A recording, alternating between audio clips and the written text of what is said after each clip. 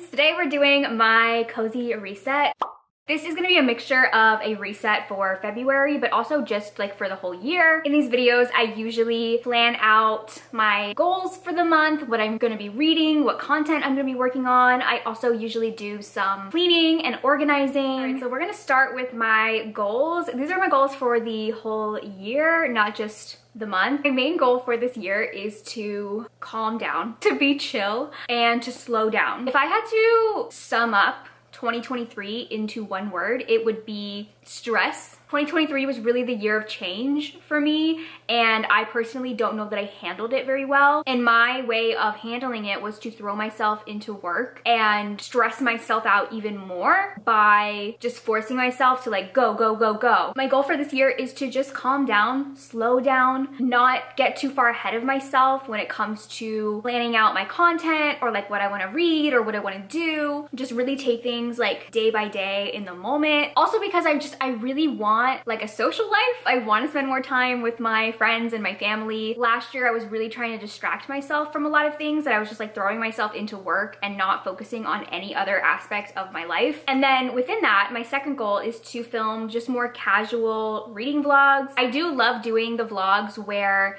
there's like a theme or a concept. I find them to be so much fun to do, but I really wanna get back into doing reading vlogs the way that I did them like years and years ago on my channel where I would just do like a weekly vlog reading whatever I wanted and having it just feel much more like casual and organic. I also think that will help me with the like not getting stressed out and not planning too far in advance because with the more themed like concept videos, they do take a lot more planning and you have to like think ahead for them. But I would like to do a lot more filming and videos that's like just in the moment. And then my last goal, which actually is like a right now goal, is that I want to redo my bedroom. My bedroom is the one room in my house that I never really decorated because I just don't spend the most time in there. I'm usually only in there when I'm sleeping or when I have a migraine and I can't get out of bed. So I don't do a lot of like hanging out in my room, but I would like to. I would like to be a hangout in my room kind of girly. So I want to rearrange the furniture in my bedroom. Right now, my bed is like in the middle of the room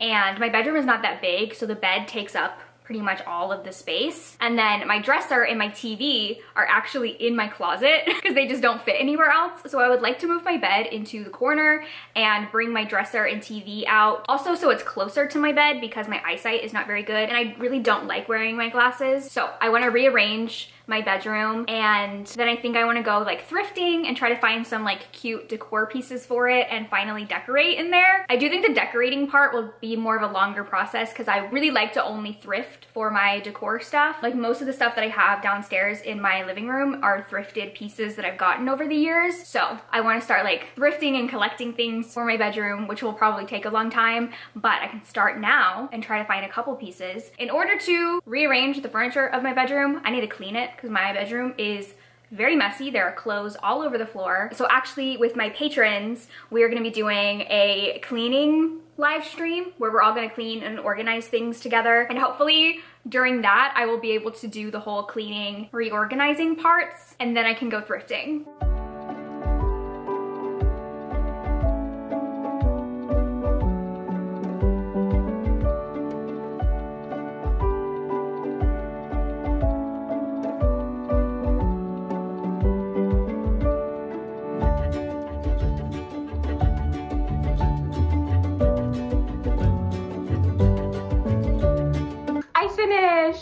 Finished my bedroom. Oh my god, that was literally the most exhausting thing that I've done in a while, but I feel like it looks really cute. Like, I got my vanity and my dresser all set up, and now my bed is like in the corner. I just like it. I like it a lot better. And now there's all this like room on the floor where I can actually walk around.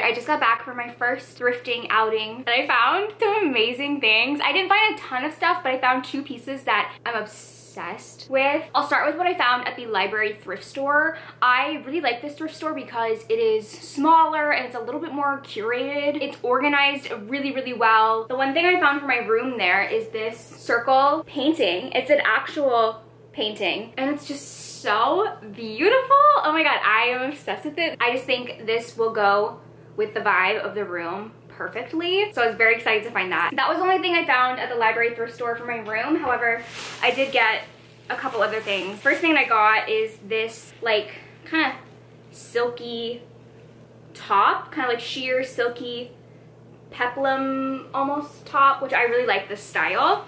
And I think the color is really pretty. And then I found this hand knit sweater that is so cute. Like, is this not the most grandma core sweater you've ever seen in your life? Also, this sweater, this sweater has shoulder pads in it, which I will be removing. I just think that's so funny. You can tell when this was probably made that someone would want to put shoulder pads in a knit sweater. And then the score of the day. I went to flea market. It's really cool. It's so massive and big. There's like 20 to 30 aisles of different booths. Basically, people can rent out a booth there and just set up all their stuff. So a lot of the booths are like different themes. You like go through it and it's like tons of mini little shops. It's so much fun. But as soon as I walked in there, I found this lamp. A Tiffany style lamp. I've always wanted one of these, but they're normally so expensive. Even thrifted, they're so expensive. Actually, I'm gonna plug it in and see what it looks like. I actually hope it works. It said on the label that it works. And then the whole time I was walking through the flea market, everybody was like, ooh, nice lamp. and I had to grab it really fast. I didn't have a basket yet because it was literally the first thing I saw when I walked in the store. I think they had just put it out on the floor because it was like in the front. This elderly woman was eyeing it up and I snatched it before she could grab it. So let's see if it works. Look how cute. Oh my god, I'm obsessed. So this is gonna be on my bedside table. Oh my god. I cannot believe I got this. I've always wanted one of these lamps. So those are the two things that I've gotten so far. I think I'm gonna go thrifting like once a week for the next like month or so and just like keep collecting things and seeing what I can find and then we'll decorate the whole room.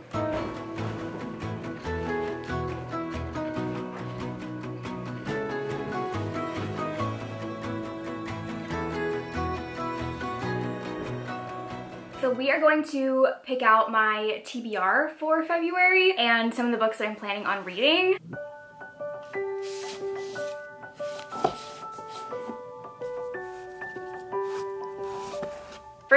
My book club book for the month is The Invisible Life of Addie LaRue by V.E. Schwab, which I'm so excited for. This is actually going to be a reread for me. This is kind of on my list of books that I want to read again because I feel like they were right book, wrong time scenarios where I really, really enjoyed the book, but I don't know if I necessarily read it at the right time to love it as much as I think I should have. So I'm excited to reread this with my patrons and see if I enjoy it more this time. And then also one of my patrons, Emily, is hosting a Dark Academia readathon on our Discord, which I'm so excited for. So I'm gonna read some Dark Academia books that I'm very excited about. One of them that I'm for sure reading is Frankenstein by Mary Shelley. My reading challenge for all of 2024 is to read classics. So this is going to fit in with that TBR and also it fits the prompts for the Dark Academia readathon and I'm very excited. I have always wanted to read this. I've actually had this on my shelf for so long because when I was in college, I was taking a class where we were gonna read this book,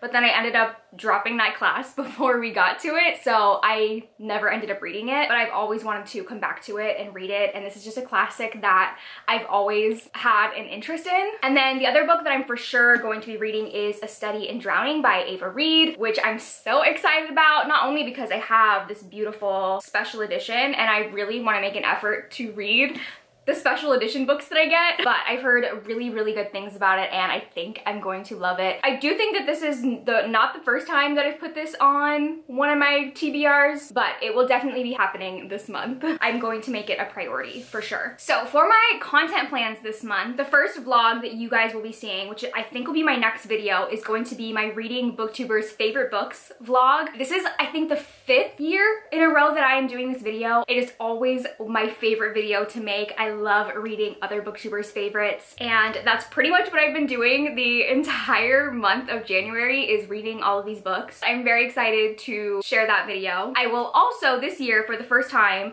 be reading booktubers worst books of 2024 which should be interesting. And that is all the content that I 100% have planned for February. I have a, a, couple other ideas, but as I said in my goals before, I'm trying not to plan too much. I'm trying to let myself do things more in the moment.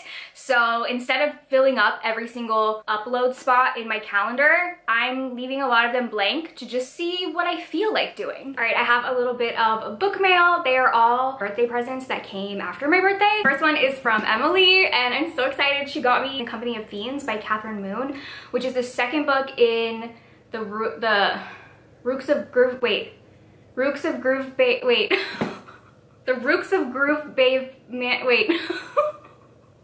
Why am I struggling with this title so much? What is it? A Lady. Oh my god, A Lady of Rooksgrave Manor. Whew. This is the second book and I believe it takes place in this like theater troupe that I was super intrigued by when we got like a glimpse of it in the first book. So I am so excited. Thank you so much, Emily. And then the other book, The Last Hero by Linden A. Lewis. This is from Shauna. I'm so excited. I think I even said in my birthday book shopping video when I was at Barnes & Noble that I was looking for this book and they didn't have it. So this is the third book in the First Sister series, which I am planning on completing this year. I loved book one and I really want to complete the trilogy. So this is the last one and I am so excited now I can finish it. Thank you, thank you so much. This is like an epic sci-fi series that I was just obsessed with. And then I bought myself a birthday present. I'm so excited to have this. Like I genuinely, oh my God. I'm gonna throw up. It's so pretty. It is the, I think it's the Arcane box. I could be wrong. Special editions of the Grace Draven books. Look how beautiful. Grace Draven is my favorite fantasy romance author and I was not able to get my hands on these books and I honestly never thought that I would get them. But someone was selling them on Pango for a very reasonable price and I was like, oh my god, this is actually a Riley birthday come true. I read Entreat Me and I loved it. I have not read Master of Crows yet, but I'm so excited. Like the detail in these books is insane. The sprayed edges. I cannot wait to display these on my shelves. And now for my monthly favorites. Since I didn't do a reset for January, this is gonna include favorites from December and January. We'll start with my favorite TV shows. The number one favorite TV show that I've watched recently that I am making it my mission to get everyone to watch it and that is The Artful Dodger. This is on Hulu and it It is so amazing. The basic premise of it is that it is a sequel to Oliver Twist following the Artful Dodger, Jack Dawkins, who has gone from being a thief to now a surgeon. And he forms a relationship with the governor's daughter who aspires to also be a surgeon. But since this is the 1850s, women are not allowed to be doctors. So they work together a lot and this, oh my God, the romance? The romance in this show is amazing. Like kicking my little feet. So, so cute. I feel like if you enjoy the romance vibes of like Stalking Jack the Ripper mixed with like a little bit Veronica Speedwell. That is what this show feels like because they're working together on these surgeries and there's a big class difference between the two of them and it is just so good. I need everyone to watch it so that they make a season two. So if you're watching this video, it is now your solemn duty to watch this show for me. Please watch it. And then the other one that I have not stopped thinking about is the Doctor Who 60th anniversary specials that brought back David Tennant as the Doctor.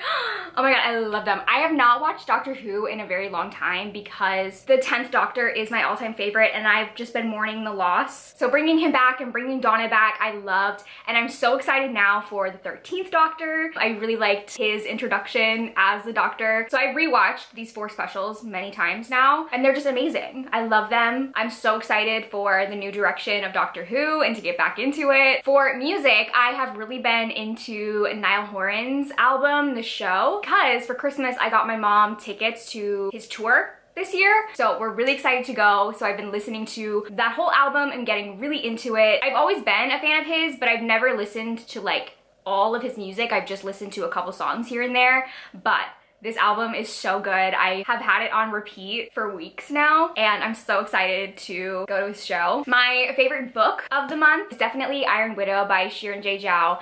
This was so amazing, like five stars. I have not stopped thinking about this book.